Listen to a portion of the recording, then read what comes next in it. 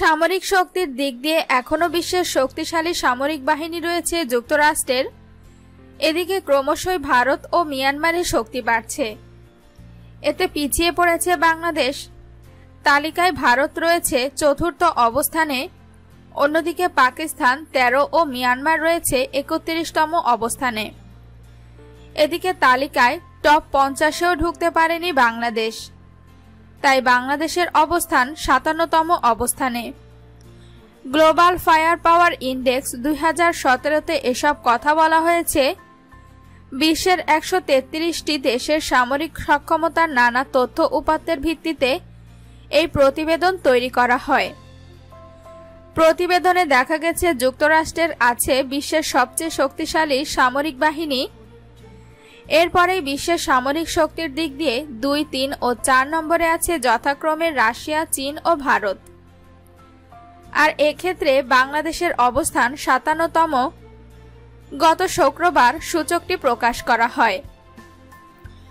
Global fire ইন্ডেক্সে বলা হয়, তালিকার শীর্ষ পনেরোটি দেশের মধ্যে আছে ফ্রান্স, জার্মানি, যুক্তরাজ্য, জাপান ও ইসরায়েল তবে প্রতিবেদনে কোনো দেশের স্ট্র্যাটেজিক ফোর্স, যেমন পারমাণবিক অস্ত্রের বিষয়টি বিবেচনা নেওয়া হয়নি।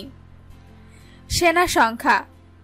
যুক্তরাষ্ট্রের সামরিক বাহিনীর সদস্য তেইশ লাখ তেষট্টি হাজার ছয়শো পঁচাত্তর জন চীনের সাঁত্রিশ লাখ বারো হাজার পাঁচশো জন ভারতের তেরো লাখ বাষট্টি হাজার পাঁচশো জন পাকিস্তানের ছয় লাখ সাঁত্রিশ হাজার এবং বাংলাদেশের প্রায় এক লাখ ষাট হাজার সেনা।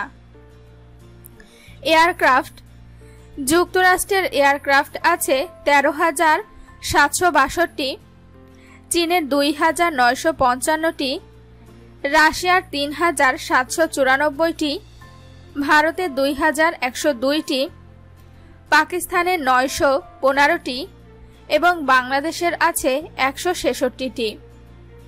ট্যাঙ্ক বাংলাদেশ সেনাবাহিনীর কাছে আছে মোট পাঁচশো চৌত্রিশটি ট্যাঙ্ক।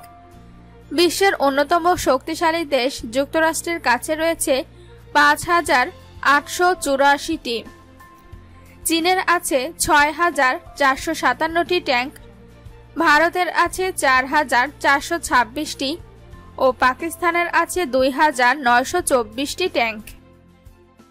আমাদের ভিডিওটি ভালো লেগে থাকলে সাবস্ক্রাইব করবেন।